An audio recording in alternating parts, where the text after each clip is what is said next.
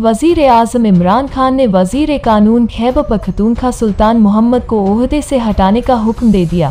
तफसीलत के मुताबिक वज़ीर आज़म इमरान खान के मुआवन खसूसी शहबाज गिल ने बताया कि वज़ीर आज़म इमरान खान ने खैब पख्तूनख्वा के वज़ीर कानून से इस्तीफ़ा लेने का फैसला करते हुए वज़ीर अला महमूद खान को अहकाम जारी कर दिए।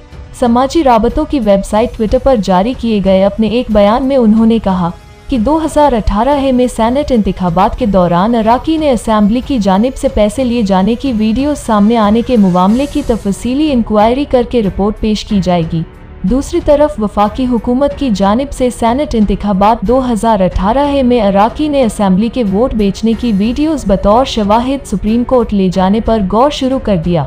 वीडियोस को सुप्रीम कोर्ट में जेर समात ओपन बैलेटिंग केस में बतौर शवाहिद पेश किया जा सकता है, जिसके लिए वज़ीर आज़म इमरान खान की जेर सदारत वफाकी काबीना के इजलास के दौरान सैनेट के इलेक्शन से मुतल गुफ्तु हुई।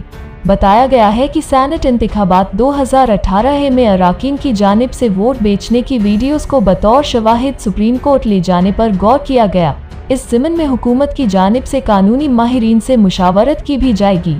यहाँ वाज रहे कि सैनेट इंतबात में अरकान असम्बली को खरीदने से मुतल तहलका खेज इंकशाफात सामने आ गए हैं, जिनके मुताबिक साल 2018 सैनेट इंतबात में पीटीआई अरकान को बुलाकर नोटों के अंबार लगा कर खरीदा गया।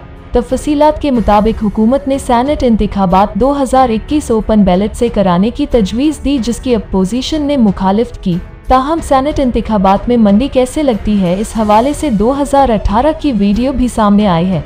साल 2018 में पीटीआई के 10 अरकान असम्बली को खरीदने से मुतलिक भी वीडियो सामने आई है। 2018 सैनेट इंतबात में पीटीआई अरकान को नोटों के अंबार लगाकर खरीदा गया।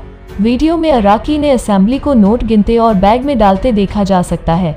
ये खरीद फरोख्त 20 फरवरी 2018 से 2 मार्च के दौरान की गई ताहम बादशाह पीटीआई ने तहकीकात के बाद वोट बेचने वाले 20 अरकान को पार्टी से निकाल दिया था।